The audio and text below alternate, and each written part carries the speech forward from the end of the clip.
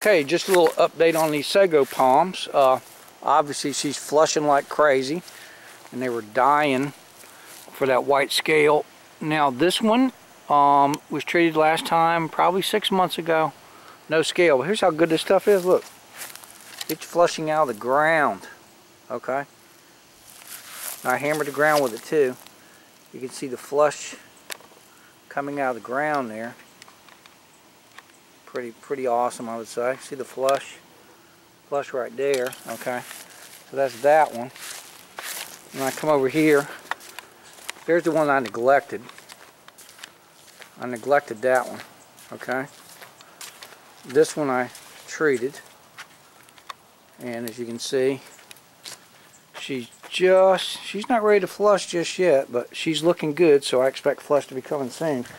But I did come around and finally treat this one and you're seeing the flush right there coming out.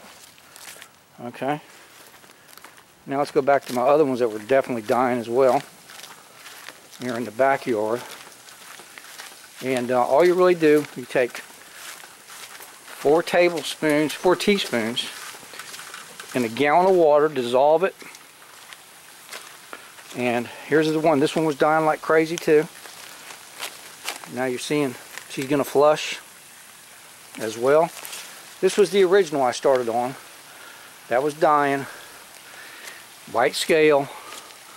And there you have it right there. And all you do is you take four teaspoons in a gallon of water, dissolve it, hammer the white scale, hammer it, rinse the white scale off, hammer it again, hammer the ground, walk away, you're good to go. So that's pretty much it. It's Tony Hopcraft in St. Augustine, Florida. 904-599-1414. Now, notice in here, oh, there's this, I'm seeing a little scale. Doesn't look like it's living. It might be. I'll hit it again. No problem. I got it under control now. It's been probably six months since I've done these. Took a couple, two or three applications. It doesn't appear that it's really grown back. This one over here doesn't have any regrowth on it that I could see. But there's your answer. You want to have a nice big beautiful sago palm. Take that Simix all-purpose cleaner and it'll clean anything by the way. It'll clean your driveway your grout your tuck carpets whatever. Real inexpensive. Hey you have a great day